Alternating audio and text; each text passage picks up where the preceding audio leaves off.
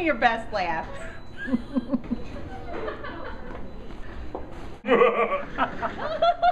I wouldn't mind. Hey, would you mind touching base? Hey, buddy, give me your best laugh. Really? you don't want to hear my evil laugh.